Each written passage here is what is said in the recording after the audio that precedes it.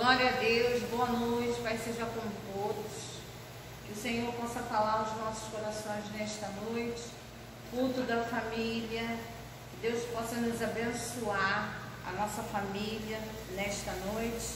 Eu gostaria de ler com vocês em Lucas 9, no, Lucas 8, versículo 40. Que a palavra de Deus diz assim: E aconteceu que quando voltou Jesus à multidão, o recebeu, porque todos estavam esperando.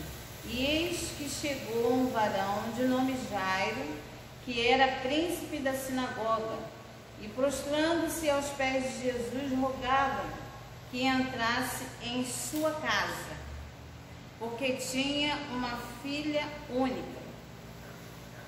Versículo 49. Estando ele ainda falando, chegou uma da sua casa, do príncipe da sinagoga, dizendo: A tua filha já está morta, não incomode o mestre. Jesus, porém, ouvindo, respondeu-lhe, dizendo: Não temas, crê somente e será salva. E entrando em sua casa, a ninguém deixou entrar senão a Pedro e a Tiago e a João e ao pai e à mãe da menina. E todos choravam e pranteavam. E ele disse: Não chores, não está morta, mas dorme. E riam-se dele sabendo que estava morto. Mas ele, pegando-lhe na mão, clamou, dizendo: Levanta-te, menina. E o seu espírito voltou, e ela se levantou. Glória a Deus. Louvado seja o nome do Senhor. E nessa noite eu te falo: você só vai onde a sua fé te levar, né? Jairo aqui estava acontecendo uma coisa grandiosa com a família de Jairo, né? A sua filha se encontrava aparentemente morta. E ainda assim Jairo recorreu a Jesus porque ele acreditava no Senhor. E ele, ele simplesmente queria que Jesus viesse à sua casa. Amém?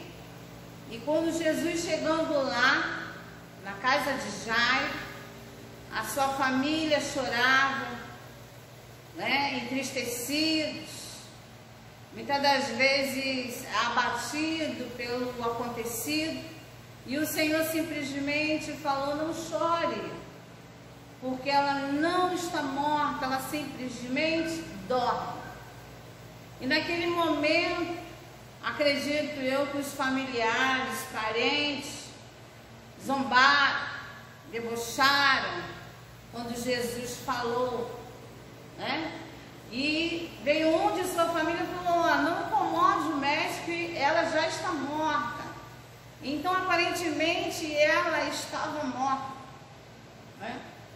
Muitos de nós, muitas das vezes, atravessamos lutas, dificuldades, desemprego, enfermidades e as pessoas chegam a nós e declaram, decretam né, a falência, decretam o desespero para nos abater, para nos entristecer, né, para é, nos desmotivar.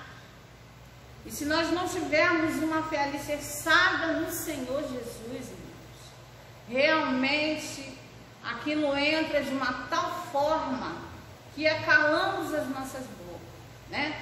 Calama a boca. A nossa fé, ela some nesse exato momento. Mas temos que agir como Jairo, acreditar, acreditar no impossível de Deus, não permitir que os nossos olhos estejam contemplando como Jairo estava contemplando, como a sua família, seus familiares estavam contemplando aquela menina já morta. Mas aquilo levou ele a movimentar sua fé em Jesus, aquele que dá a última palavra.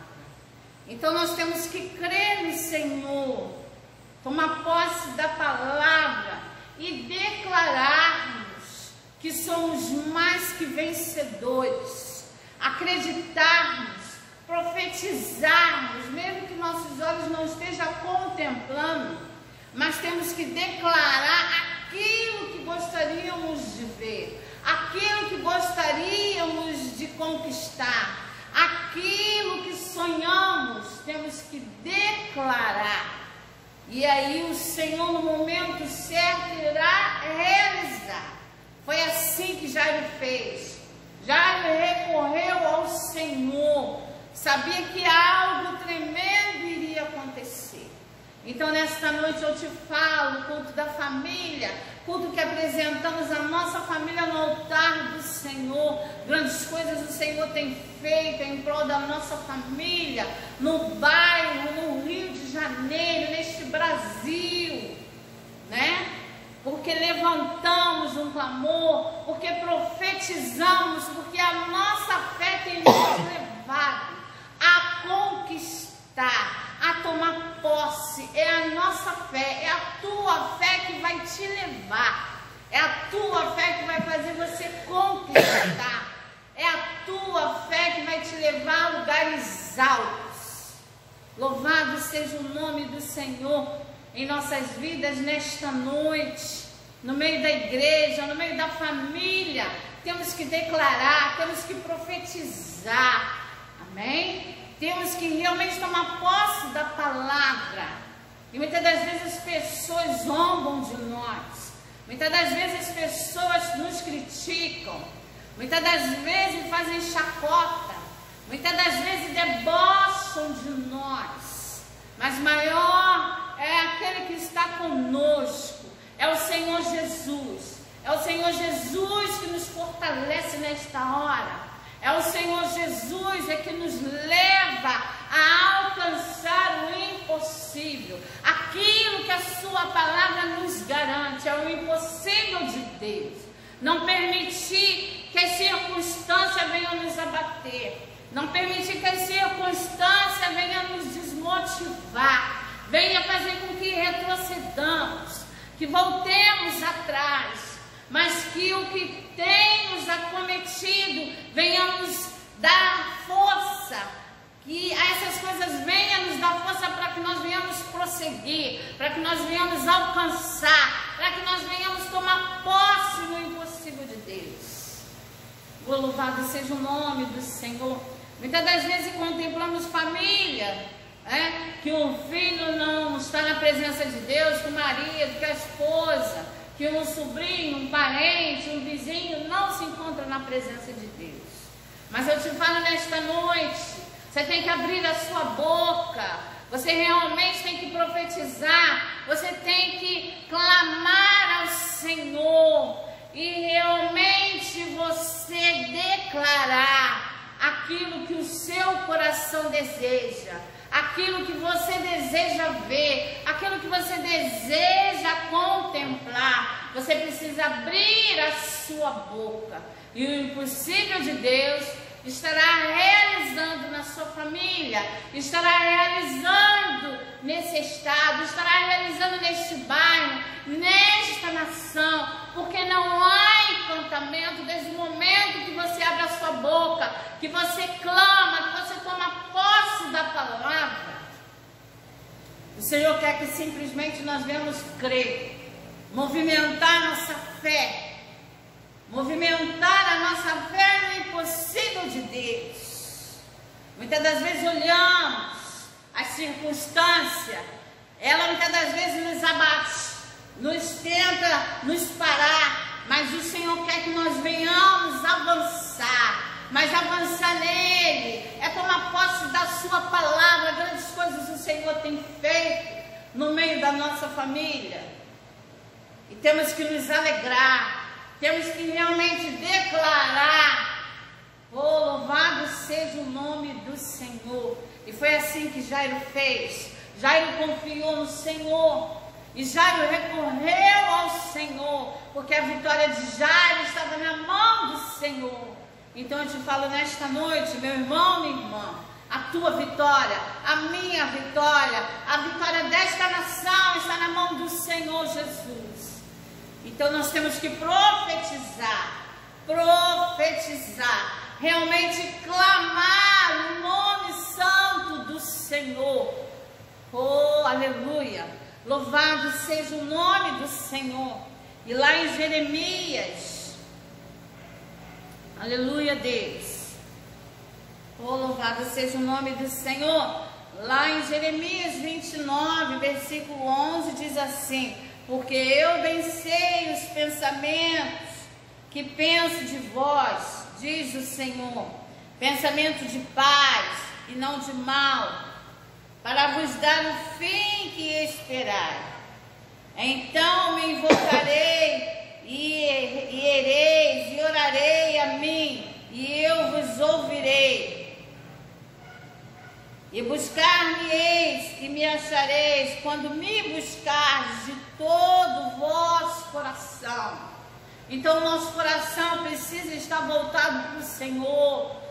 Nós precisamos crer no Senhor. É movimentar a nossa fé. A nossa fé vai nos levar a lugares impossíveis aparentemente. Você muitas das vezes se encontra no leito Muitas das vezes tem parente desempregado. Muitas das vezes com uma doença que os médicos já declararam. Mas lembre-se, porque a palavra nos garante, a última palavra do Senhor, quem dá a última palavra é Deus. É somente Ele. Porque o Senhor conhece o nosso coração. O Senhor nos sonda.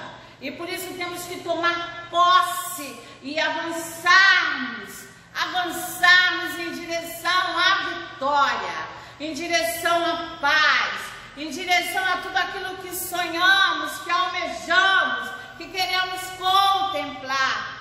Vemos que das vezes o que contemplamos tenta nos abater, tenta nos entristecer, mas maior é o que está conosco, meu irmão, minha irmã. Temos que crer no Senhor e realmente declarar que a nossa família pertence ao Senhor Jesus, que essa nação pertence ao Senhor Jesus. Toma posse nesta noite e realmente que você venha declarar no meio da sua família, que realmente você venha tomar posse da palavra de Deus. E assim você será mais que vencedor.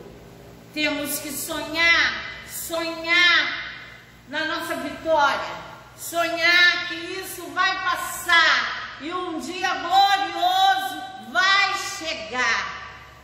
Toma posse nesta noite, meu irmão e minha irmã, em nome de Jesus. Desde já, eu agradeço ao Senhor por esta oportunidade. Que o Senhor continue falando aos nossos corações, continue nos tratando continua nos libertando, continua nos alicerçando, cuidando, nos ajudando a cuidar do nosso coração, da nossa mente. Que o Senhor nesta noite possa nos libertar, possa nos tratar através da palavra, através da doce presença do Senhor. Oh, louvado seja o nome do Senhor. Que grandes coisas o Senhor estará fazendo na sua vida, no meio da sua família, mas eu te falo em nome de Jesus. Começa a profetizar aquilo que você gostaria de ver e no momento você não está vendo. Muitas das vezes você está entristecido, mas comece a se alegrar. Abra sua boca e profetiza, profetiza, profetiza. Como lá em Gênesis, quando o Senhor olhou a terra, a terra era sem forma e vazia. E ele ali pôde contemplar aquela terra. Se tivesse alguém com ele, ia falar: Nossa, mas você espera alguma coisa desta terra? Sem forma, sem vazia, vazia. E o Senhor, na mesma hora, falou: haja luz e. Ele queria ver a luz. Então, nesta noite eu te falo: se você quer ver a sua família no altar de Deus, você comece a profetizar, a realmente a tomar posse, e as coisas vão fluir, vão acontecer. porque o Senhor está pronto a realizar aquilo que está em seu coração. Em nome de Jesus eu te peço, e desde já eu agradeço ao Senhor pela sua vida, meu irmão e minha irmã, em nome de Jesus.